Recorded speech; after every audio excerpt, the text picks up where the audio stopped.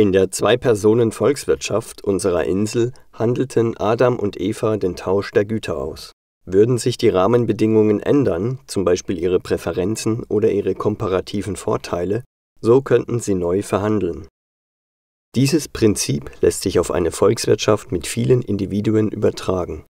Jedes Individuum agiert als Produzent und Konsument, indem es sich entsprechend seinen komparativen Kostenvorteilen spezialisiert und über Tauschverträge und Werkverträge an die Güter seines Bedarfs gelangt. Die Tauschrelationen, also die Preise, spielen dabei eine Schlüsselrolle. Man sucht sich die Tauschpartner, bei denen man die günstigsten Preise erzielen kann. Alle Verträge sind spontan und kurzfristig.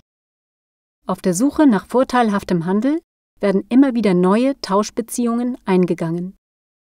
In Konkurrenz zueinander und durch Versuch und Irrtum tasten sich alle Beteiligten an eine effiziente Arbeitsteilung heran.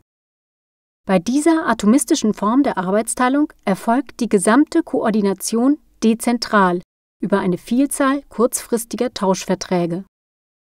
Die atomistische Arbeitsteilung ist durch eine hohe Flexibilität gekennzeichnet.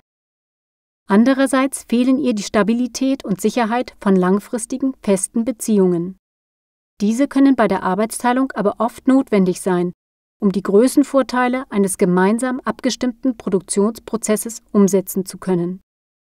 Der Zusammenschluss zu einer organisatorischen Einheit mit dauerhafter Zuweisung der Aufgaben lässt Unternehmen als arbeitsteilige Produktionsgemeinschaften entstehen. Die Ausrichtung an einem gemeinsamen Ziel dieser Organisation erfordert ein hohes Maß an Kooperation.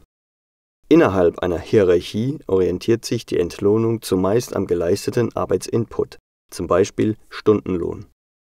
Die Vergütung der Leistung bei unmittelbarer Arbeitsteilung über den Markt ist dagegen output-orientiert, zum Beispiel Erlös für Verkauf von Produkten.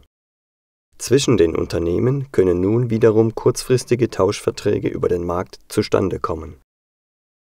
Der Gegenpol zur atomistischen reinen Marktkoordination wäre die zentrale Organisation der gesamten Volkswirtschaft unter einer gemeinsamen Hierarchie.